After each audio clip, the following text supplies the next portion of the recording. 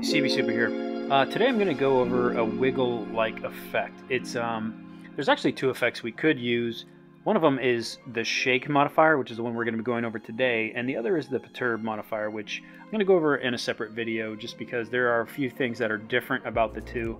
On screen you'll see that I have a demo going, and that is uh, the shake modifier doing just several different things at once. If you come from After Effects, and you were you maybe you've been searching around the internet trying to find does DaVinci have a wiggle? Um, it does and the shake pretty much fits that bill. So what we're going to do here is we're actually going to create a new fusion compound and I'm going to show you how to use it really quickly. Okay so inside of fusion um, we have a brand new fusion comp with nothing inside of it. First thing I'm going to do is I'm just going to create something to wiggle.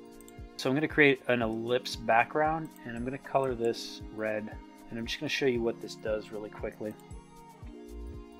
Mm, so I'm going to size this down just a little bit, just so it's somewhat round. Uh, and one thing about the ellipse, and any mask for that matter, is uh, you'll notice that this center parameter is what drives the position. So if we were to animate this position, uh, we could animate that over time, uh, but instead we're going to use a shake modifier. So if you just right click on the, the actual word center, and then come down to modify. And over here on the left you'll see shake. Ahead click on that. And we're going to go ahead and press the space bar to, to preview that. And you notice that it's already doing its movement. And so if that's all you were looking for I mean it's that simple. Um, but you can jump over here to the modifiers tab. You can actually play with some of the parameters. So reseed and random seed is going to be super important but we'll go over that here in a little bit uh, first I'll talk about smoothness think of smoothness as kind of the speed for the animation. If I turn it up, the animation is going to be a little bit slow, a little smoother. If I turn it down, it's going to be very fast and very violent. Uh, we can also kind of lock down the movement. The closer to the center or to 0.5 you are, the more um, confined that movement is going to be. So you can get a really cool like shake. Um, and, and that's exactly the way that I use it most of the time is I'll lock down the parameters. You can also uncheck this lock XY and it's going to give you a little bit more control over the position um, on the screen that you want it to be. Obviously, if, if this is the X and we go to the minimums, uh, it's going to keep it all the way over to the left and vice versa if we uh, drive it all the way to the right. Uh, same with the X and the Y. You can see that kind of opens up the parameters. But if you just leave it, but if you turn it um, as as it comes just the way that it is like it's gonna now be able to travel pretty much the entire width and height of the screen. I usually leave it locked just because the way that I use the shake modifier uh, this usually fits most of my needs. So you probably notice that there's no like on or off button. Uh, you could turn smoothness up. Now you'll notice that 25 is as high as it goes and that slows it down but it doesn't slow it down to a stop. You could also take this up to like 10,000 if you wanted to um, and that'll pretty much slow it down to, to the point where it's not really moving. Um, you could do that. That's probably not the way that I would do it. All right, so if you're looking for a good way to turn this on and off, one way you could do this would actually be, um, let's go ahead and set these to the center of 0.5 and 0.5, and you'll notice that when we're at 0.5, it doesn't move at all. So if we go ahead and uh, animate this, then we go one frame forward, and we open it up a little bit, and now maybe we want to go to frame 70 and we'll set some keyframes, go one more frame, and we'll come over here and we'll go 0.5, 0.5. And now you can see that we've actually kind of, uh, we've set our own keyframes for turning it on and turning it off. So that's just one way that you could turn it on and off. You could also uh, use the keyframe editor, which we'll show here in a few minutes to turn it on and off. But uh, I, I prefer to do it this way because it gives you a little bit more freedom. You can have several of these uh, turn on and off in the same uh, Fusion composition timeline. So that's pretty powerful. Um, but it's not just for moving um, the position. We can also do things like you might have seen, you might have noticed in the demo that we actually have uh, different parameters that are being modified by the shake. So say we want to um, modify the width and the height. We can also modify the modify it with a shake. We can go to the height, modify that with a shake. Now one thing you'll notice that if we leave it like this, it's just going to go up and it's just going to go down. And that's because these two, the width and the height, are running at the exact same seed. If you want to get even more randomization out of that, you can actually come over here, double click on the height and reseed it, and then double click on the width and reseed it. And now they're going to be running at completely different seeds. You can also come over here and reseed the center.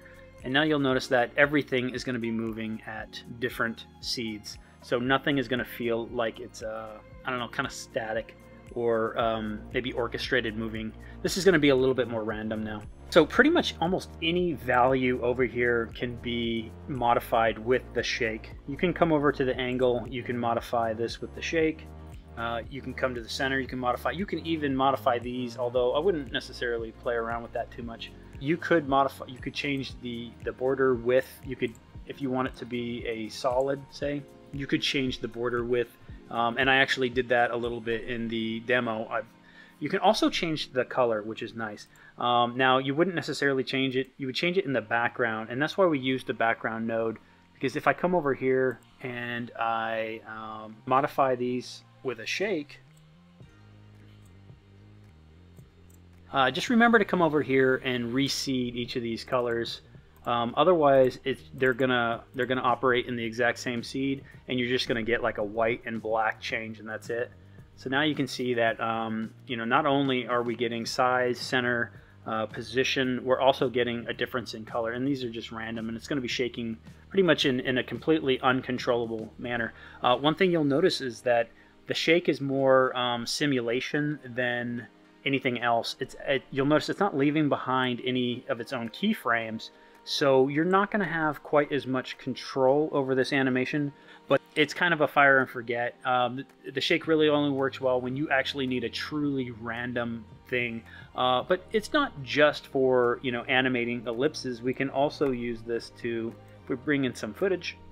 Okay, so the first thing we'll do is we'll go ahead and add a transform node, and the transform node is the node that we're actually going to be doing all of the uh, the shaking with. So if I come over to the center on the transform and I just modify this with a shake, and I'm definitely going to want to come over into the modifiers because you'll notice right now that this is just, you know, like it's a really, really drastic shake and that's not what we're looking for. We're actually going to want to probably bring this down close to 0.5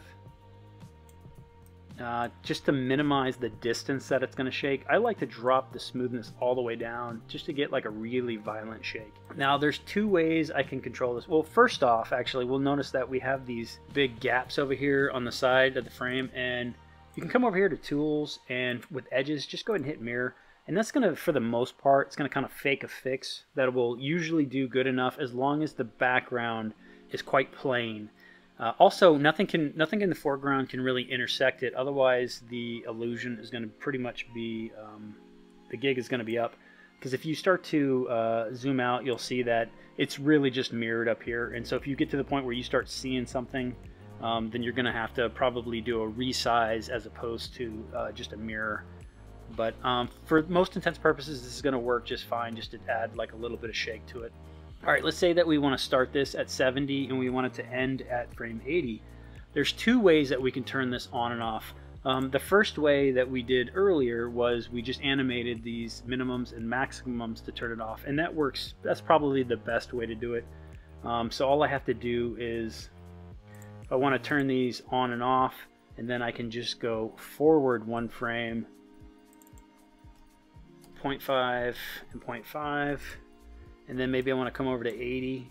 I'm gonna add some keyframes here just to like keep that uh, keep those parameters going, and then go one more, and then uh, now I can do 0.5 and 0.5.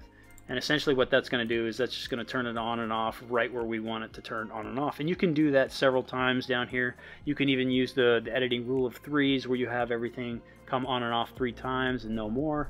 Um, let's say we, we don't like that. Let's say we want to do something a little bit different. There's another way you can turn that on and off, and it's not always the preferred way, but it does work. Uh, and you, and sometimes it might even work a little bit better. If you come over to the keyframe editor, get rid of the inspector for just a little bit. Let's make just a little bit of room here. If I hit zoom to fit, um, you'll notice that uh, transform has its own layer. So if I come through here, you'll notice that it's just playing continuously while, ever, while it's on that layer. One thing I can do is I can actually shorten this layer. So now it's only going to shake when it crosses over that layer and then it's going to stop. So that's another way that you can have a little bit more control over your actual nodes. You can turn the nodes on and off at will.